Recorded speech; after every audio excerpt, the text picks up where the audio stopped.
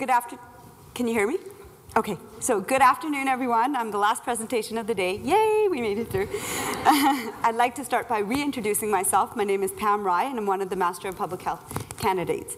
Um, as you can tell from my title slide, I will be sharing my learning about the use of technology as a tool for HIV prevention in young men who have sex with men. It worked? Okay. Um, I thought I would start today by providing a bit of background about my learning journey during my practicum experience. I completed my practicum over the span of seven months part-time within the Fraser Health Authority. The first four months were spent at the Bloodborne Sexually Transmitted Infections Unit, working with frontline public health nurses. These nurses have many responsibilities, a part of which was offering point-of-care rapid HIV testing and providing support to HIV individuals, um, positive individuals as part of the healthcare team.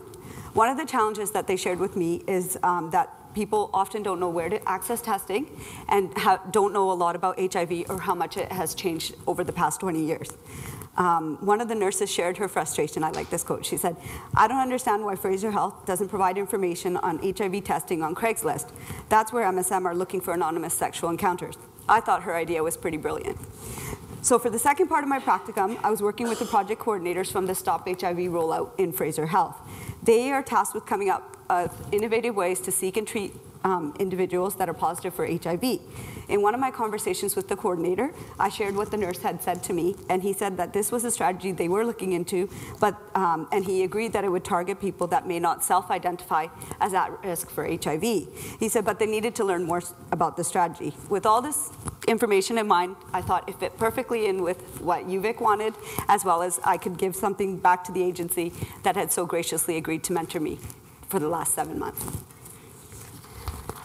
So just in case, for, for those of you that may not be familiar, young men who have sex with men, or I say Y, MSM, is a term in the literature that usually refers to men um, MSM under the age of 30. The reason I chose to focus on this subpopulation instead of the general population of MSM is because they have some of the highest rates of HIV. When looking at new HIV diagnoses between different generations, the numbers have increased significantly among MSM born between 1980 and 89. This is due in part to the fact that different generations of MSM had different experiences of the HIV epidemic, and it also reflects uh, population dynamics and sexual activity as younger men age into the disease and younger men, or older men age out of the disease. And the reason I chose to focus on a technology-based intervention is because of what I'd learned during my practicum, but also because the literature shows that young MSM have been found to heavily utilize search engines, um, internet search engines, gay-friendly chat rooms, and pornography websites to gain information on sex behavior. Many sexual health sessions that were taught in school settings lacked relevant information for individuals that identified as non-heterosexual. This left this population with um, a knowledge gap about safe sex practices. So taking all this information into consideration, I developed the purpose of my literature review. And the goal was to review successful technology-based strategies targeted to MSM, including young, MSM, where the goal of the program or the intervention was to um, reduce HIV transmission, transmission and increase the uptake of HIV testing. Um, by critically assessing what had worked well in the past and what some of the barriers were with online programming, Fraser Health could take that forward in possible um, development of programs for themselves. Um, the, the, reason I included general MSM in my lit review is because I didn't want to narrow the review so far that I was going to miss really key articles that would be applicable to all subpopulations within MSM. So as the slide states really clearly, I used a bunch of different uh, databases, and along with other search, um, search strategies that we learned throughout the program, I also consulted with Dr. Mark Gilbert from the BC Centre for Disease Control. And for those of you that don't know, he is currently working um, on strategies to promote and evaluate an internet-based testing program for HIV and STIs in, in BC. So I thought his input would be pretty valuable. So what I left in and what I took out. Basically, I started, um, I would start, was left with 57 articles after I finished all my searching, and I screened through the articles through a two-phase process. In the first phase, the abstracts were reviewed to ensure relevancy, and if they were relevant, then I confirmed that they met my inclusion criteria. This helped me to narrow my review down to 36 articles. Um, so then I go into themes. So the first theme I'm going to explore is around the program design, delivery method, and intended outcomes. And the second was around the challenges in evaluating technology-based interventions. So these were my findings, and these were the different methods that were used to um, provide the online programming. So some of the programs used um, dating or hookup websites where um, they targeted the sexual and social networks of gay and bisexual men to create a space where safe sex and condom use was the norm. In the HOPE study, um, they utilized a peer-led approach where leaders shared two-way communication with individuals about fundamentals of HIV prevention on social media sites such as Facebook. Another approach was used uh, was offering HIV prevention information one-on-one -on -one in chat rooms. So I'm just, I'm not gonna go through all the lists because I don't wanna run out of time. So as one might, oh, Oh, Okay, it was supposed to say this one. Um, as one might ex expect, the, the goals of the programs were quite common, and those are listed here. In addition to these goals, some of the programs also aim to decrease the use of alcohol and drug use in the hopes that it would result in less risk-taking during sexual encounters, as well as an overall decrease in the number of sexual partners. Go back to the other one. So the challenges that were dis um, discovered in the literature was that um, conducting formal evaluations on the success of pilot programs related to retention rates. So Noar et al. conducted a meta-analysis of 12 computer-delivered internet-based HIV prevention strategies and reported retention rates as low as 37%. To address these poor retention rates, the MINT study proposed recommendations, which I'm not going to go into, but if anyone's interested, for future programming. Another challenge to internet-based HIV prevention is that it aims to integrate two research cultures, public health and internet software development. Um, research approaches utilized by each of these disciplines can be vastly different, and public health research tends to focus heavily on evidence-based interventions that have proven successful in large studies with a preference towards randomized control trials. Um, by the time some of the interventions have been tested and are ready for market, the technology has changed enough that it requires retooling so that the intervention can be considered current and relevant. Uh, many of the articles suggested that more research needs to be conducted on methods and designs effective for evaluation of e-public health, which is what I'm kind of talking about broadly. So, oh, now I'm going past. so the, this is a summary of the um, recommendations that I gave to Fraser Health um, that they could use when developing an internet-based um, HIV intervention strategy. These considerations were pulled from the literature review and can also be applied when implementing other online prevention programming. Um, the suggestions follow many of the principles we learned throughout the program.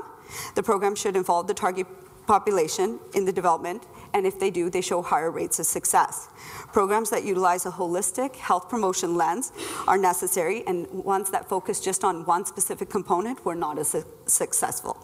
Um, the ability for the consumer to link with service providers is important.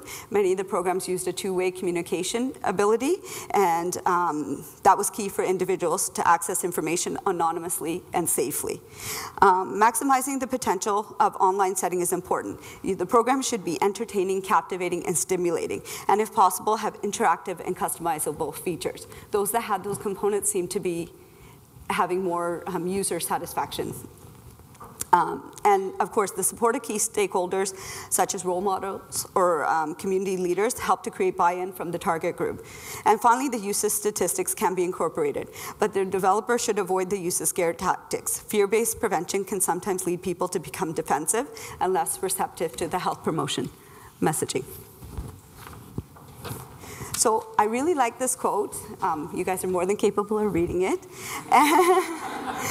and the reason I like it is because it speaks to the potential of e-public health. It can reach individuals in a confidential, convenient, and cost-effective manner, which can be appealing in times of fiscal constraint, right? It has the ability to reach rural and global populations. E-health can be developed to address a wide range of health issues at a primary, secondary, and tertiary level. So lessons learned. When I thought about lessons learned, I thought about my personal lessons learned, so I, I probably doesn't fit with a lot of what everybody else said.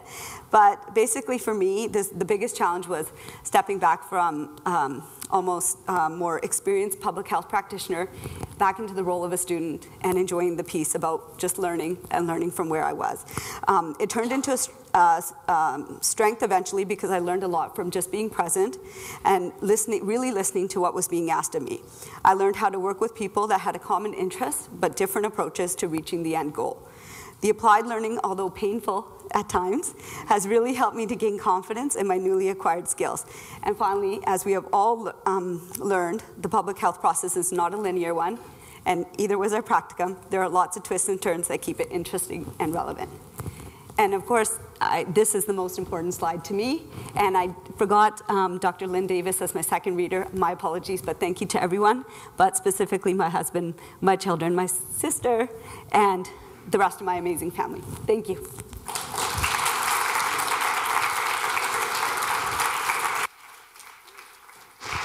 Okay, uh, questions uh, for Pat? I can ask one. Come on, people. Last one. Oh, there we go. Lynn's got one. I'll, um, I'll, it's sort of half a comment and half a question as I walk it over to Lynn. The notion of online community, particularly as it relates to men who have sex with men, is a fascinating one because people are communicating around the globe and having sex online around the globe. So community now is very different than even the way we think about it traditionally when we think about community-based research, say, right? Unit of identity, but that identity is now global. Anyway. Thank you. Thank you. Um, so I guess two comments. Um, one, Pam, is that when I first opened your paper and I read the title, I thought, how can a computer screen affect the transmission of HIV? And boy, did I learn a lot. Oh, but I'm also. I'll cheerfully admit, I'm a late adopter of technology. That's the polite term. Um, the other comment um, that I have is that I, when I was in my 30s, lots of my friends died from what was then called as GRID, gay-related immune deficiency. And I'm just so filled with grief to learn that the incidence of HIV among young men who have sex with men is rising again. I just, yeah. And so thank you very much for your work on this. It's, It's- really important to me personally. Thank you. Thank you, Lynn, for those comments. I think it's the one downside of any prevention strategy. When we start doing it really, really well, it get, the diseases get forgotten, and that's when we start to see things start to resurface because it's forgotten the turmoil and trauma that's caused by it. So, thank you.